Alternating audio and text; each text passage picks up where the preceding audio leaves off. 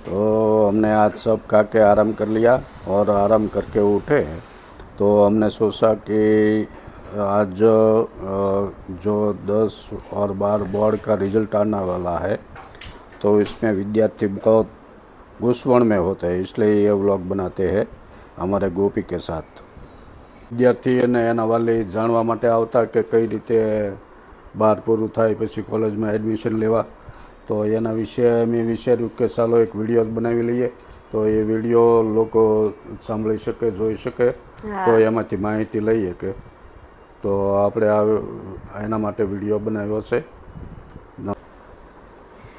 तो कैसे हो आप सब आप सब ने मुझे प्रीवियस वीडियोस में तो देखा ही होगा ગુજરાતીમાં બનાવવાનું છે તો અ, મને બધા ગોપી કહીને બોલાવે છે ઘરે પણ મારું સાચું નામ કીર્તિ છે. એન્ડ હું અત્યારે એટલે મારું પ્રોફેશન સોફ્ટવેર એન્જિનિયર છે. હું અહીંયા સુરતમાં જોવા મળું છું કેમ કે હું ઘરેથી કામ કરી રહી છું વર્ક ફ્રોમ હોમ હું ફ્લિપકાર્ટમાં સોફ્ટવેર એન્જિનિયર છું. અને છેલ્લા સવા બે વર્ષથી હું ફ્લિપકાર્ટમાં છું. એની પહેલાં એક બહુ મોટી ઇન્વેસ્ટમેન્ટ બેન્કિંગ કંપની છે મોર્ગન સ્ટેનલી એમાં હું સોફ્ટવેર એન્જિનિયર હતી. તો અત્યારે મારું જોબની લોકેશન બેંગ્લોરમાં છે, પણ વર્ક ફ્રોમ હોમ અમને કરવા દઈ રહ્યા છે, તો હું કરી રહી છું. એન્ડ મેં ટ્વેલ્થમાં સાયન્સ રાખેલું, અને પછી મેં એન્જિનિયરિંગ કરેલું. તો મેં અત્યારે આ વીડિયો બનાવવાનું અમે એટલે વિચાર્યું કેમ કે અત્યારે ટેન્થ અને ટ્વેલ્થના રિઝલ્ટ આવી રહ્યા છે, અને ખાલી દસમા અને બારમાના વિદ્યાર્થીઓ માટે નથી. આ વીડિયો પેરેન્ટ્સ માટે પણ છે અને નાના ધોરણ જે દસમાંથી પહેલાંના ધોરણવાળા સ્ટુડન્ટ્સ માટે પણ છે. મારા વિશે માહિતી આપી દઉં. તો મેં જેમ જણાવ્યું એમ હું અત્યારે ફ્લિપકાર્ટમાં સોફ્ટવેર એન્જિનિયર તરીકે જોબ કરી રહી છું. મારી પોઝિશન સિનિયર સોફ્ટવેર એન્જિનિયરની છે ફ્લિપકાર્ટમાં અને ફ્લિપકાર્ટમાં કામ કરવાનું શરૂ કર્યું અને સવા બે વર્ષ થયા. અને ટોટલ મારો વર્ક એક્સપિરિયન્સ હું ગણાવું તો કોલેજ ખતમ થયા પછીનો ઓલમોસ્ટ સાત વર્ષ ખતમ થશે. સવા છ વર્ષ જેટલું થયું છે. અને કોલેજના લાસ્ટ સેમેસ્ટરમાં મેં ઇન્ટર્નશીપ કરેલી મુંબઈમાં. તો એ કોલ, અત્યારે હું જે કામ કરી રહી છું એના વિશે છે. એન્ડ હું મારી સેલરી પણ જણાવીશ આગળ જતાં. તો વાત આવી દસમા ઉપર અને બારમા ઉપર. તો, દસમા ધોરણમાં મારે પર્સન્ટેજ આવેલા ચોરાણું ટકા આવેલા મારે નાઇન્ટી ફોર પર્સન્ટેજ અને નવ્વાણું પોઈન્ટ ઓગણએંસી પર્સન્ટાઇલ હતી ninety nine point seventy nine percentile હતી. તો દસમા પછી જેમ કે તમને લાગતું હશે કે આ બહુ સારા પર્સન્ટેજ છે અને સારા પર્સન્ટેજ જ છે, તો મને, હું ત્યારે કન્ફ્યુઝનમાં હતી કે મારે એન્જિનિયરિંગ કરવું જોઈએ કે ડૉક્ટર બનવું જોઈએ? એટલે કે એ ગ્રુપ રાખવું જોઈએ, એ ગ્રુપ માટે, એ ગ્રુપ એને કહેવાય જેને એન્જિનિયરિંગ કરવું છે. અને બી ગ્રુપ ડૉક્ટરવાળી લાઈન માટે હોય. ડૉક્ટર યા તો કંઈ પણ ડેન્ટિસ્ટ હોમિયોપેથી ફિઝિયોથેરાપી આયુર્વેદ એ બધું એમાં આવી જાય. તો મેં જ્યારે મને, હું મારા વિશે જણાવું તો પહેલાંથી જ મને મેથ્સ જે કહેવાય મેથેમેટિક્સ ગણિત, એમાં ખૂબ જ ઇન્ટરેસ્ટ હતો. ઇન્ટરેસ્ટ એટલે એમ કે મને મજા આવતી. હું કોઈ પણ દાખલો ગણતી હોઉં કે ક્વેશ્ચન સોલ્વ કરતી હોઉં, તો મને મજા આવતી. બી ગ્રુપ રાખવાનું હોય તો મોટા ભાગે એમાં લોજિક ઓછું વાપરવાનું. આવે એમાં લોજિક આવે એવું નથી કે સાવ ના આવે, પણ એમાં તમારે યાદ વધારે રાખવાનું હોય. આમ, તમારે વાંચ, ઘણું બધું વાંચ, તો એ ગ્રુપ રાખો કે બી ગ્રુપ રાખો, બંનેના શું કહેવાય, ફાયદા ને ફાયદા તો નહીં, પણ બંનેના અલગ અલગ એસ્પેક્ટ છે. તમે એને અલગ રીતે જોઈ શકો છો. જેમ કે મારું એન્જિનિયરિંગ રાખવાનું કારણ એ હતું કેમ કે મને ઈચ્છા હતી કે મારે સોફ્ટવેર એન્જિનિયરિંગ કરવું છે, મારે સોફ્ટવેર ટેકવાળી લાઇનમાં આગળ વધવું છે. એન્ડ મને એવું કહીએ કે ગણિત જેને ગમતું હોય એને એ ગ્રુપ રાખવું જોઈએ. એવું નથી કે તમે જોબ કરતા હો ત્યારે કંઈ એકલું ગણિત નહીં આવે. એમાં બહુ બધા વિષયો આવે. એન્જિનિયરિંગ કરતા હો જોબ કરતા હો, ત્યારે ગણિતથી તો સાવ જ અલગ વિષયો આવે. પણ એમાં લોજિકવાળી વાત હોય અને તમને કેવા ફિલ્ડમાં જવાની ઈચ્છા છે? જેમ કે હું અત્યારે જોબ કરું છું તો અમે જે વસ્તુ પર કામ કરતા હોઈએ એ સાવ જ અલગ હોય ડૉક્ટરો જેના પર કામ કરતા હોય એનાથી. ડૉક્ટર તમે બનો તો તમે એક માણસ ઉપર તમારું કામ ચાલતું હોય કે તમે ઓપરેશન કરી રહ્યા છો યા તો સર્જન નથી બન્યા અને તમે બીજી લાઈનમાં છો, જેમ કે એમડી કર્યું છે, તો એ અલગ વસ્તુ થઈ ગઈ? ટૂંકમાં તમે માણસ ઉપર તમે આખો, માણસના શરીર ઉપર તમે આખું ભણી રહ્યા છો, એના ઉપર તમે કામ કરી રહ્યા છો. મને એમાં પર્સનલી ઓછો ઇન્ટરેસ્ટ હતો. મને ટેકનોલોજીવાળી સાઈડમાં જવાનો વધારે ઇન્ટરેસ્ટ હતો. એટલે મેં એ ગ્રુપ રાખેલું છે. તમને જે તમને વધારે ગમતું હોય, એમાં તમારે આગળ વધવું જોઈએ. તમે બી ગ્રુપ રાખો તો તમે કોઈ સારી હોસ્પિટલમાં જોબ કરી શકો છો, યા તો તમે પોતાનું ક્લિનિક ખોલી શકો. એ બધું અલગ અલગ છે. એન્જિનિયરિંગ કરું તો મેં બારમું ધોરણ ખતમ થયું. પછી મેં ચાર વર્ષની મારી એન્જિનિયરિંગની ડિગ્રી હતી. એમાંથી સાડા ત્રણ વર્ષ ખતમ થયા એટલે ઇન્ટર્નશિપ કરવા જવાનું હતું છેલ્લા સેમેસ્ટરમાં યા તો જે ચાર વર્ષમાં છેલ્લા છ મહિના હોય એમાં. તો ત્યારથી હું જોબ જ કરી રહી છું. અને ચાર વર્ષ ઓછો ટાઈમ જ કહેવાય તમે, તમને એક સારી જોબ મળતી હોય. તો અત્યારે આપણે સાયન્સ સ્ટ્રીમ જે રાખી રહ્યા છે દસમા ધોરણ પછી, એના વિશે વાત કરી રહ્યા છીએ. આપણે કોમર્સ અને આર્ટ્સ ઉપર પણ આવીશું.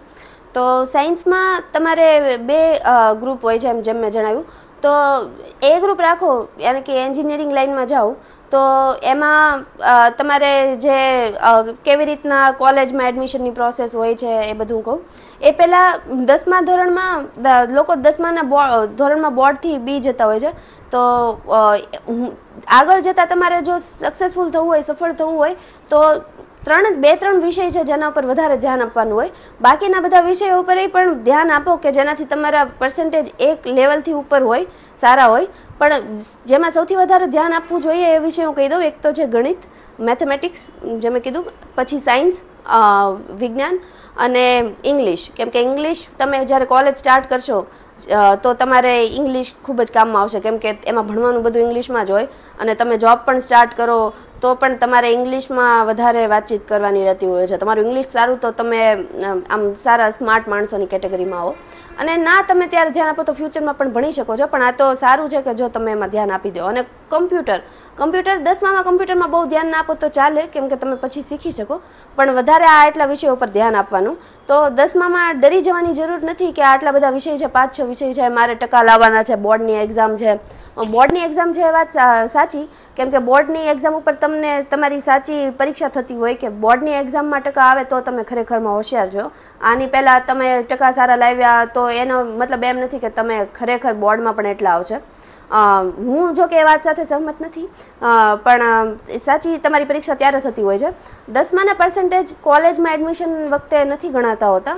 પણ આગળ જતાં તમે જ્યારે જોબ માટે એપ્લાય કરતા હો છો, ત્યારે એ પર્સન્ટેજ જોતા હોય છે કે દસમામાં અને બારમામાં બંનેમાં બહુ સારા પર્સન્ટેજ છે. તો આ માણસ ખરેખર બહુ સ્માર્ટ હશે કે હોશિયાર હશે. તો દસમામાં તમે બને એટલું તમારાથી ધ્યાન આપો. તમને બોર્ડની એક, તમારે એક પ્રેક્ટિસ થશે કે જે તમે બારમામાં બોર્ડની એક્ઝામ આપશો તો તમારે સારી પ્રેક્ટિસ થઈ જશે. તો એના માટે દસમું જરૂરી છે અને દસમામાં તમારો પાયો બંધાય છે, ગણિત, વિજ્ઞાન એ બધા વિષયોનો. અને ખાલી દસમામાં પાયો નથી બંધાતો, પાયો બંધાવાનું શરૂઆતથી જ સ્ટાર્ટ થઈ જાય છે. તો તમે બધા જ ધોરણમાં તમે અગાઉથી જ એમાં ધ્યાન આપશો તો તમને આગળ જતાં એ બધું સહેલું લાગશે, કાં તો તમે સમજી શકશો. તો પહેલાં જો તમે એટલું ધ્યાન નહીં આપો આગળના ધોરણોમાં, જેમ કે સાત, આઠ, નવ, તો તમને આગળ જતાં અઘરું જ લાગશે. અને એક વર્ષમાં તમે નહીં સમજી શકો કવર નહીં કરી શકો અને કંટાળી જશો ભણવાથી. તો આ થઈ આગળના ધોરણોની વાત. તો દસમાનું રિઝલ્ટ આવી જાય ક્યાં તો દસમું ખતમ કરી લીધું, પછી તમે નક્કી કરી નાખો મારે એ ગ્રુપમાં જવું છે કે બી ગ્રુપમાં જવું છે. તો એ ગ્રુપમાં તમે ભણતા હો છો, ત્યારે જે કોલેજની એડમિશનની પ્રોસેસ હોય છે એ કંઈક એવી હોય છે કે તમારે બારમા ધોરણમાં બોર્ડની એક્ઝામ આવશે, એક એક્ઝામ હોય છે, અને એના જે પર્સન્ટેજ ગણાય એ તમારે, એનું સિક્સટી પર્સન્ટ તમારો એ ગણાશે, તમારું જે ઓવરઓલ સ્કોર નક્કી થતો હોય બારમા ધોરણ પછી, જે સ્કોર તમારો ગુજરાતમાં જે કોલેજ એન્જિનિયરિંગ કોલેજ છે, એમાં એડમિશન લેવા માટે, એમાં એનો સાહીઠ ટકા ફાળો છે, અને બીજા ચાલીસ ટકા ફાળો આવે છે ગુજકેટની એક્ઝામમાંથી તો ગુજકેટની એક્ઝામ એકસો વીસ માર્ક્સની હોય છે.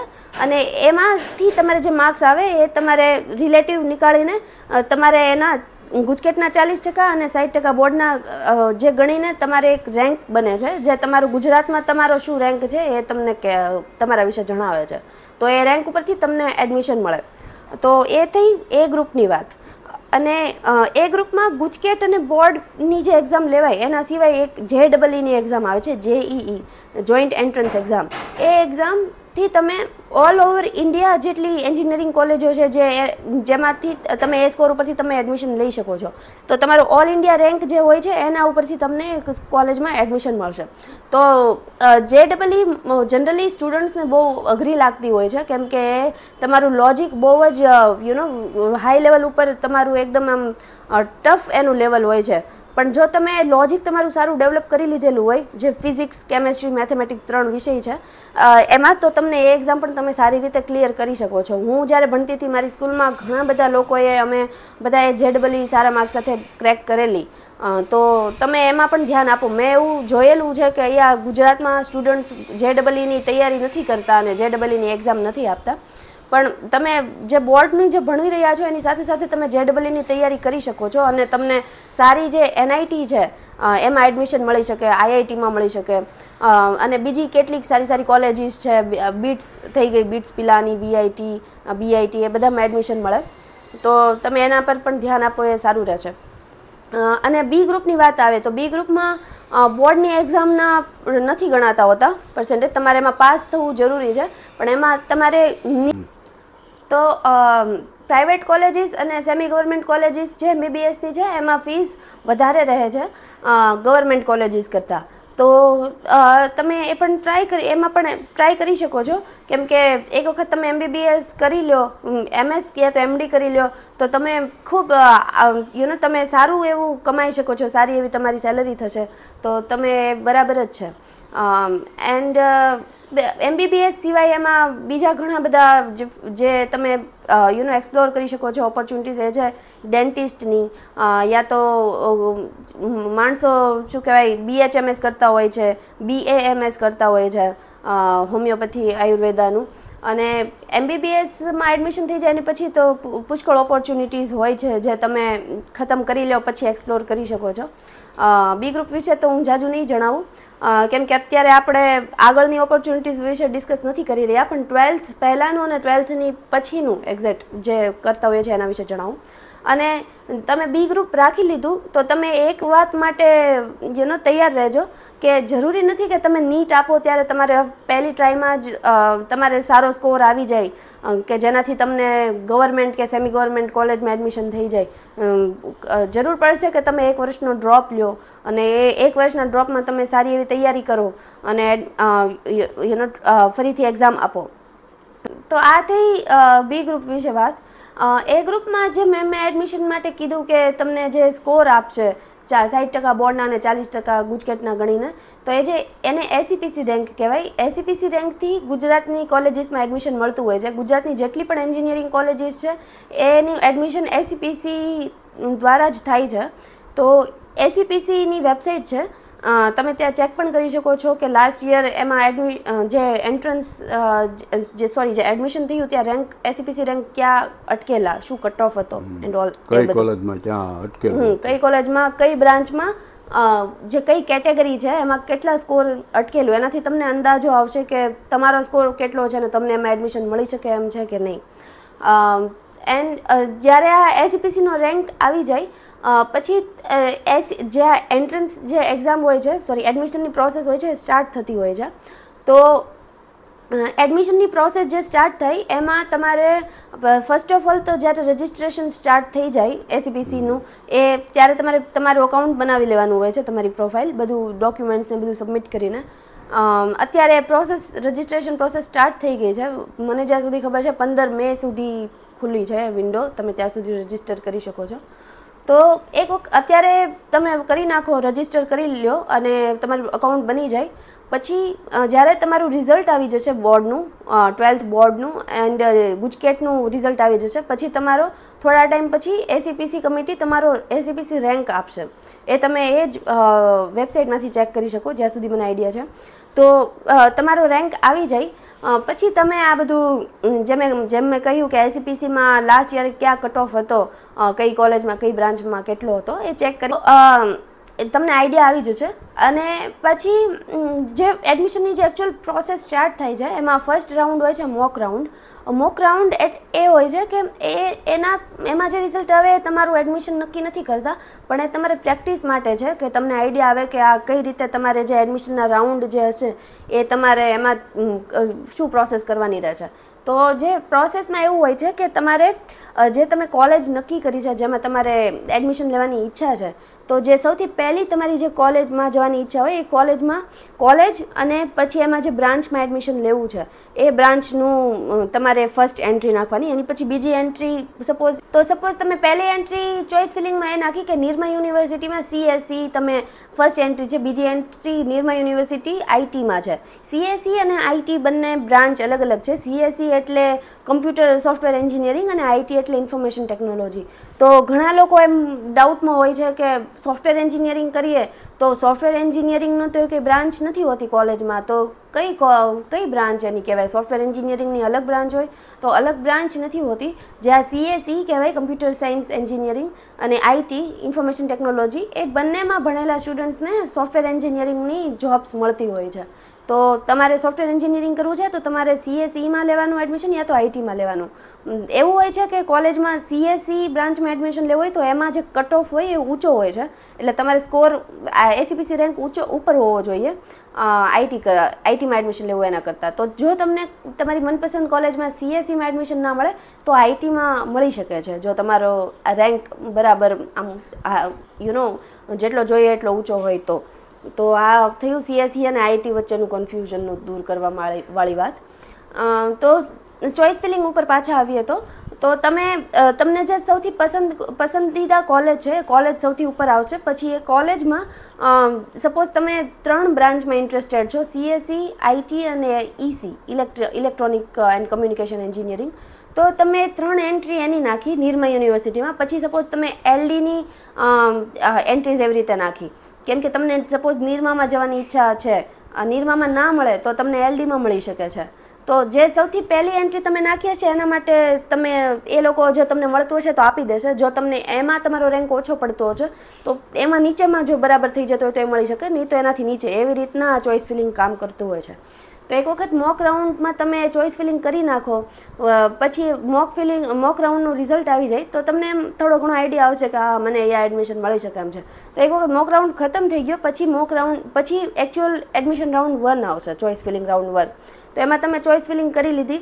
તો જે ફર્સ્ટ રાઉન્ડમાં તમે જે ચોઇસ ફિલિંગ કરો છો, એમાં તમારે ખૂબ કાળજીપૂર્વક કરવાનું રહે. કેમ કે એમાં જે તમે કર્યું, તો તમને મે બી તમે, તમારે જે કોલેજમાં એડમિશન લેવું છે, એમાં તમને તમારો રેન્ક પૂરતો છે અને તમને એમાં એડમિશન મળી શકે એમ છે. પણ જો તમે ચોઇસ ફિલિંગમાં ભૂલ કરી નાખી, તમને જે કોલેજ ગમતી હતી એ તમે નીચે રાખી અને જે કોલેજ એના કરતાં ઓછી ગમતી હતી એ ઉપર રાખી દીધી, તો તમને ઉપર જે રાખી એ કોલેજમાં એડમિશન મળી જશે. તો તમારે એમાં ધ્યાન રાખવાનું. તમે જો કે ચેન્જ કરી શકો બીજા રાઉન્ડમાં જો તમને સીટ એમાં અવેલેબલ હશે તો તમને મળી શકે, પણ તમારે ખૂબ એમાં ધ્યાન રાખીને ચોઇસ ફિલિંગ કરવાનું.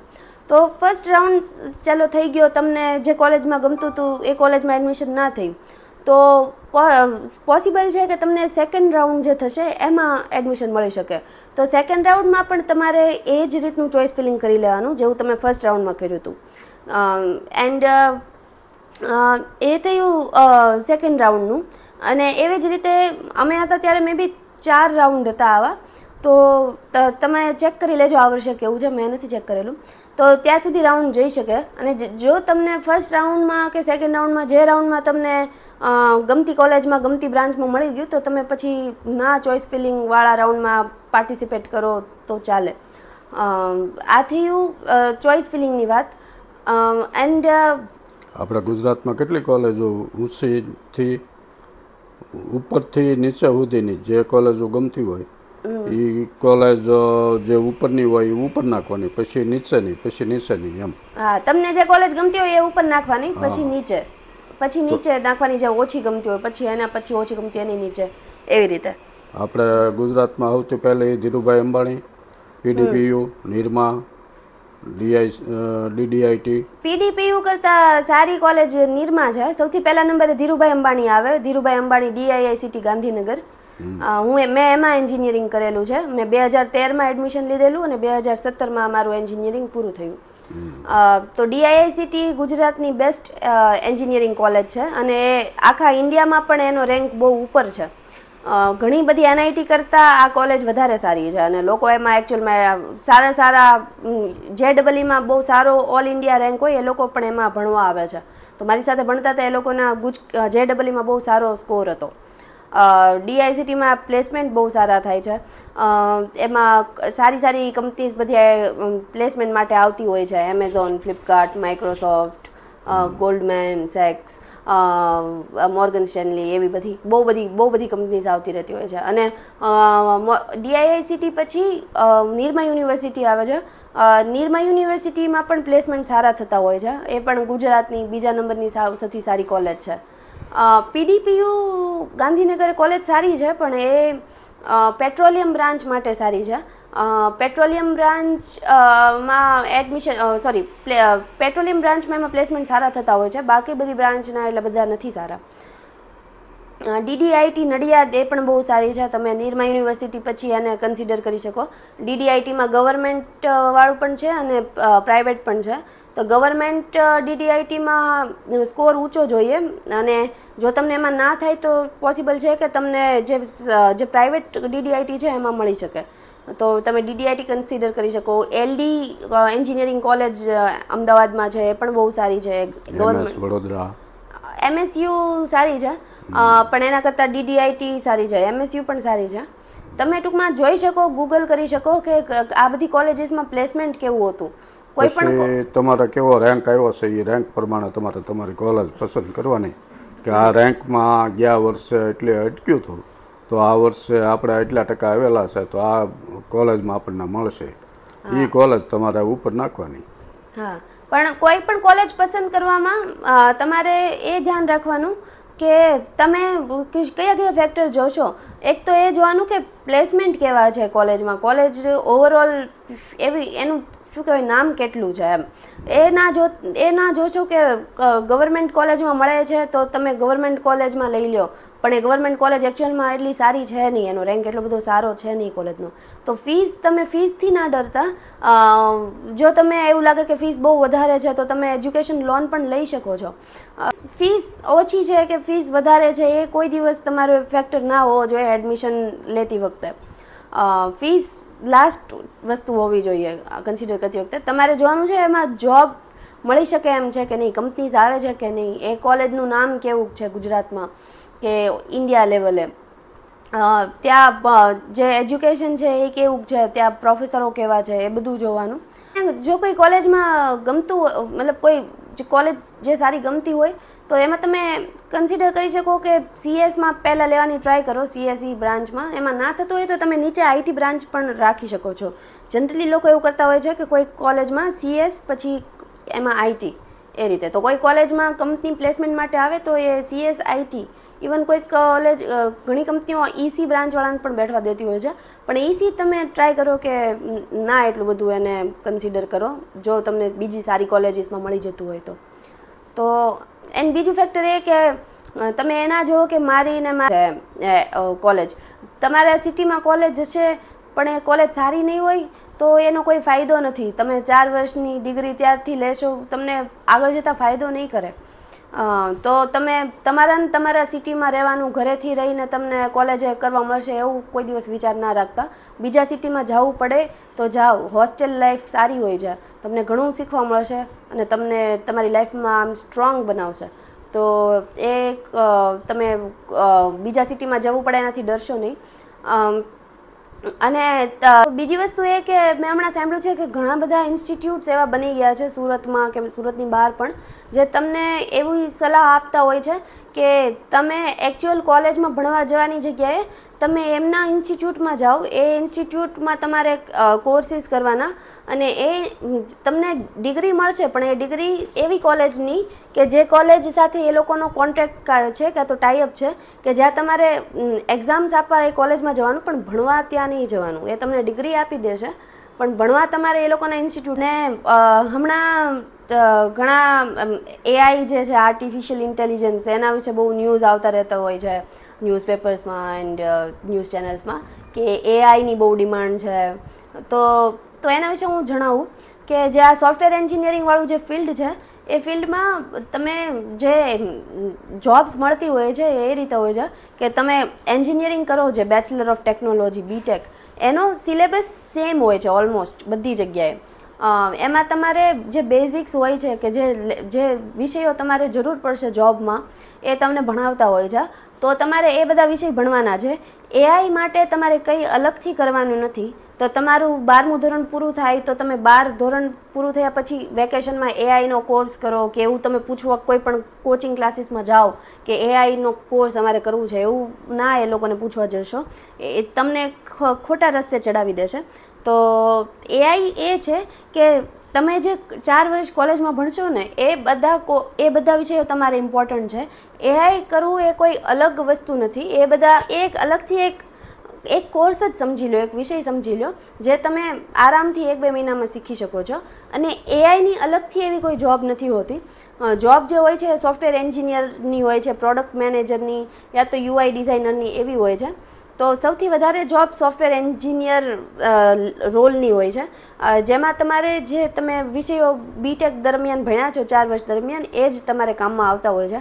જો તમારે એઆઈમાં જવાની ઈચ્છા હોય, તો તમે એઆઈ વાળો સ્પેસિફિક મશીન લર્નિંગ વાળો કોર્સ કરી શકો પાયથન શીખી શકો, તો એનાથી તમે એપ્લાય કરી શકો જે એઆઈ વાળી જોબ હોય. પણ મેં જ્યાં સુધી અત્યાર સુધી જોયું છે એઆઈની એટલી બધી જોબ્સ ફિલ્ડમાં છે નહીં, જેટલી જે નોર્મલ બધી જોબ છે. જેમ કે હું ફ્લિપકાર્ટમાં જે જોબ કરી રહી છું, એ બધી જોબ્સ બહુ વધારે છે. એઆઈની એટલી બધી નથી. અને કેટલાક જગ્યાએ એવું મેં વાંચેલું છે કે એઆઈ છે એ સોફ્ટવેર એન્જિનિયરની જોબ્સ યા તો બીજી જોબ્સ ઓછી કરી નાખશે. કેમ કે એઆઈ ખૂબ એફિશિયન્ટ છે. એ એક માણસને જે કામ કરતું હોય એને રિપ્લેસ કરીને તમે એઆઈ ચેટ જીપીટી કે એની પાસે કામ કરાવી શકો છો. તો એ વસ્તુમાં કોઈ હકીકત નથી. જે જોબ્સ છે એ હંમેશા વધતી રહેવાની છે દર વર્ષે. જે રીતે સ્ટુડન્ટ્સ વધતા રહે છે. અને જે ટેક ટેકનોલોજીવાળું જે ફિલ્ડ છે ને, એમાં જોબ્સ હંમેશા વધતી રહેશે તમે બેંગ્લોર સિટીને જોઈ લો. બેંગ્લોર સિટી સિલિકોન વેલી છે ઇન્ડિયાનું. તો એમાં એટલી બધી જોબ છે, આખું સિટી લાખો લોકો સોફ્ટવેર એન્જિનિયરિંગની જોબ કરી રહ્યા છે. અને એ એવરી યર એવરી યર વધતી જ જાય છે. જે ટેકનોલોજી તમે ઇન્ડિયામાં ઇન્ટરનેટ ક્યારે વધારે આવ્યું? મને યાદ છે ત્યાં સુધી બે હજાર બાર, બે હજાર તેરથી જ વધારે ઇન્ટરનેટ આવ્યું છે અને સ્માર્ટફોન્સ લોકો વધારે યુઝ કરતા થયા બે હજાર સોળથી. તો બધી જ વસ્તુ ડિજિટાઇઝ થવા લાગી છે. એ જે તમે જોઈ રહ્યા છો, અત્યારે જેટલી વસ્તુ ડિજિટાઇઝ થઈ છે, એનાથી પણ વધારે વસ્તુઓ ફ્યુચરમાં હજુ ડિજિટાઇઝ થશે. અને જેટલી વસ્તુ થતી જાય છે, એટલી નવી નવી જોબ્સ આવતી જાય છે. તો સોફ્ટવેરમાં ટેકનોલોજીવાળા ફિલ્ડમાં ખૂબ જ સ્કોપ છે. ખાલી ઇન્ડિયામાં જ એટલો બધો સ્કોપ છે કે તમને જો તમે ખૂબ ધ્યાનપૂર્વક ભણો, તમે સાચા ટાઈમે સરખી મહેનત કરી લો, જેમ કે દસ અગિયાર બાર કોલેજ ટાઈમે તો તમને આગળ જતાં બહુ સારી જોબ્સ મળશે. અને ખાલી ઇન્ડિયામાં નહીં ઇન્ડિયાની બહાર જે વેલ ડેવલપ્ડ કન્ટ્રીઝ છે, એમાં તો વીસ વીસ, ત્રીસ ત્રીસ વર્ષથી ઇન્ટરનેટ છે સારું એવું.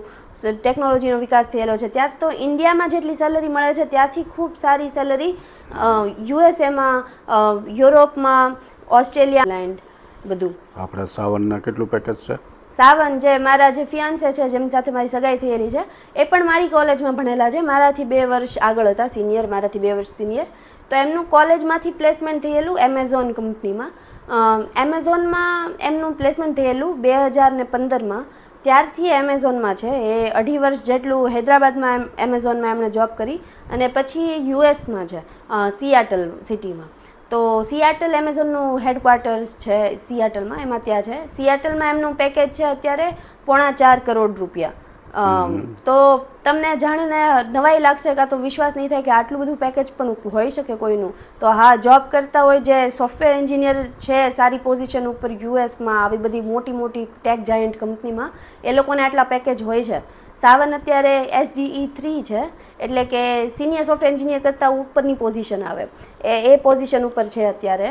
અને હું તમને એમ લાગતું હશે કે આ પેકેજ એટલું છે તો બસ આ અટકી જતું હશે, આનાથી આગળ નહીં વધતું હોય. પણ એવું નથી. જેમ તમારું પ્રમોશન થાય એમાં સેલરી વધતી હોય છે. જે સાવનથી ઉપરની જસ્ટ પોઝિશન આવે, એમાં સરેરાશ સેલરી સાડા પાંચ કરોડ રૂપિયા હોય છે. અને એનાથી પણ તમે આગળ પ્રમોશન થાય તો એનાથી પણ વધે. તો આ એમેઝોન આટલી સેલરી આપે છે. આવી જ રીતે ગૂગલ છે ફેસબુક છે માઇક્રોસોફ્ટ છે, એ બધી કંપનીઝ ખૂબ સારું સારું પેકેજ આપે છે. ઇન્ડિયામાં મારું પેકેજ જણાવું, ફ્લિપકાર્ટમાં તો મારું પંચાવન લાખ રૂપિયાનું પેકેજ છે અત્યારે. હું કંપની ચેન્જ કરું, હું એમેઝોનમાં જતી રહું કે કોઈ બીજી કંપનીમાં જાઉં, મારું આરામથી સાઠ લાખ ઉપર જતું રહે, પાસઠ લાખ જેટલું થઈ જાય. તો મારી જેવી સેલરીવાળા અને સાવન જેવી સેલરીવાળા બહુ બધા સોફ્ટવેર એન્જિનિયર્સ છે. અને એ લોકોનો આ જ એ લોકોએ ફોલો કરેલું કે એ લોકોએ એમનો બેઝ જે હોય ને પાયો, એ હંમેશાથી મજબૂત હતો. જે વિષયો જોઈએ, જેમ કે વિજ્ઞાન જોઈએ સાયન્સ મેથેમેટિક્સ એ હંમેશાથી ક્લિયર હતું એમનું, સરખું હતું.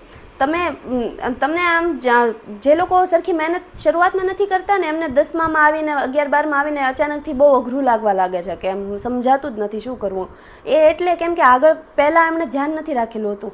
આમ જોઈએ તો આપણો જે અભ્યાસક્રમ છે બહુ સારી રીતે સ્ટ્રક્ચર કરેલો છે સરકાર જે એજ્યુકેશન બોર્ડ છે એણે, કે તમે સ્ટેપ બાય સ્ટેપ એક પછી એક ધોરણમાં બધું શીખતા રહેતા હો છો. તો શરૂઆતથી ધ્યાન આપો, જેમ જેનાથી તમે ફ્યુચરમાં એક ટાઈમે અચાનકથી એકદમ ક્લ્યુલેસ ના થઈ જાઓ. તો તો હું આજે આ બધા લોકોની વાત જણાવી હતી જે મારા અને સાવન જેવા સોફ્ટવેર એન્જિનિયર્સના કલીગ્સ છે, અમારી સાથે કામ કરતા હોય છે, અમારી જેવી સેલરી ઉપર, અમારથી વધારે સેલરી ઉપર. તો એ લોકોનું આ જ એક પેલું હતું લાઈફનું રૂટીન હતું કે એક પછી એક જે ધોરણમાં આવતા ગયા, આ બધા જે મેઇન વિષય છે એની ઉપર ખૂબ સરખી રીતે ધ્યાન આપ્યું. અને દસમું ક્લિયર કર્યું, સારા પર્સન્ટેજ સાથે અગિયાર બાર સરખી રીતે ક્લિયર કર્યું. જે ડબલઈમાં સારા માર્ક્સ લાવ્યા બોર્ડમાં સારા માર્ક્સ લાવ્યા, સારી કોલેજમાં આવ્યા. જેવી રીતના ડીઆઈઆઈ સિટી છે, ધીરુભાઈ મણે, એવી રીતે બહુ બધી કોલેજીસ છે આખા ભારતમાં જેમાં સારું ભણાવે છે, સારી સારી કંપની પ્લેસમેન્ટ માટે જાય છે. જો તમે સારી કોલેજમાં ના હો, ધીરુભાઈ અંબાણી જેવી કે નિરમા જેવી, તો પણ દુઃખી થવાની જરૂર નથી. કેમ કે તમે કોઈ પણ કોલેજમાં હો, તમે ટ્રાય કરો કે તમારે જે સોફ્ટવેર એન્જિનિયર બનવું છે, તો તમે જે કોમ્પિટિટિવ પ્રોગ્રામિંગ આવે યા તો જે કોડિંગ આવે C language C plus plus જાવામાં, એમાં તમે ધ્યાન આપો. તો તમારું જો પ્લેસમેન્ટ ટીસીએસમાં થાય છે કે તો ઇન્ફોસિસમાં થાય છે, સાડા ત્રણ લાખનું વાર્ષિક કાં તો ચાર લાખનું વાર્ષિક, યા તો એનાથી પણ ઓછું. તો અમદાવાદની કોઈ કંપની થઈ ગઈ કે કોઈ પણ નાની કંપની પણ તમે જો તમારું આ બધું કોડિંગ પ્રોગ્રામિંગ ને આ બધા જે મેથ્સ ને એ બધું સારું હશે ઇંગ્લિશ સારું હશે, તો તમે થોડો અનુભવ થઈ જાય દોઢ વર્ષનો, બે વર્ષનો, તમે કંપની ચેન્જ કરી શકો. તમે એક કંપનીમાંથી બીજી કંપનીમાં જાઓ, તમને પગાર વધારો આપે એ લોકો. મિનિમમ પચીસ ટકા, ત્રીસ ટકા તો મળતો જ હોય છે. સો સો ટકામાં મેં કંપની ચેન્જ કરેલી છે, મેં બસો બસો ટકામાં ચેન્જ કરેલી છે વધારો લઈને. તો તમે એવું કરી શકો છો અને આ કોઈ એવું નથી કે એક ટાઈમે તમને આટલા સેલરીવાળી જોબ મળી જવી જોઈએ નહીં તો પછી અશક્ય થઈ જાય, એવું નથી. તમે ઓછામાં ઓછી સેલરી સાથે શરૂઆત કરી શકો છો અને વધુમાં વધુ સેલરી સુધી જઈ શકો છો. તમારે બસ ધ્યાન રાખવાનું છે કે તમે સાચા ટાઈમે સરખો નિર્ણય લઈ લો અને તૈયારી કરો. તો એડમિશન લઈ લો હરખી હારી કોલેજમાં હા એડમિશન સરખી કોલેજમાં લઈ લો. જો તમે અત્યારે બારમામાંથી પાસ આઉટ થયા છો તો તમે ધ્યાન રાખો કે તમે કોલેજ વિશે સરખું રિસર્ચ કરો અને સારી કોલેજમાં એડમિશન લો તમે એ ના જો કે મારે મારી મારી સિટીમાં રહેવું છે કે મારા ફ્રેન્ડ્સ આ કોલેજમાં રહે છે તો હું એ જ કોલેજમાં લઈશ. તમે ફ્રેન્ડ્સ તમારી લાઈફમાં હંમેશા સાથે નથી આવવાના. તમે જ્યાં નવી જગ્યાએ જશો ત્યાં નવા ફ્રેન્ડ્સ બનાવશો. તો હંમેશા તમે એક જે ચેન્જ આવવાનું છે ને, એના માટે તૈયાર રહો, ક્યારેય ચેન્જથી ડરશો નહીં. લોકો અમારી જે ટીમમાં યા તો હું જેટલા લોકોને મળે એ બધા કહેતા હોય છે કે કમ્ફર્ટ ઝોનમાં આવી ગયા છે, આમાંથી બહાર નીકળવું બહુ અઘરું છે. કમ્ફર્ટ ઝોન એટલે કે તમે જે જગ્યાએ જે વસ્તુ કરી રહ્યા છો, એમાં તમે બહુ, તમે આમ આમ ટેવાઈ ગયા છો એમ. તેમાંથી બહાર નીકળવું તમારા માટે અઘરું છે. તો જે લોકો કમ્ફર્ટ ઝોનમાંથી બહાર નથી નીકળી શકતા, એ ત્યાં ને ત્યાં સ્ટક થઈ જાય છે એમ. ત્યાંથી એનો વિકાસ નથી થતો. તો તમારે લાઈફમાં હંમેશા વિકાસ કરતું રહેવું જરૂરી છે. તો હંમેશા શીખતા રહો. હું જોબ કરું છું, મારે સાડા છ વર્ષ જેટલો એક્સપિરિયન્સ એક્સપિરિયન્સ થઈ ગયો છે. હું કોલેજમાં શીખતી હતી.